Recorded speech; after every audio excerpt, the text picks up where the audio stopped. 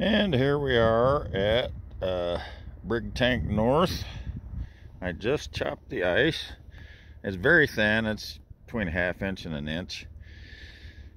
And uh, so if the cows drink it down and more warm water flows in, then the ice will stay thin. If they don't, if they stay over at the other well over at Brig South, then uh, this will freeze harder and I'll have to chop increasingly thick ice. That's just the way it is.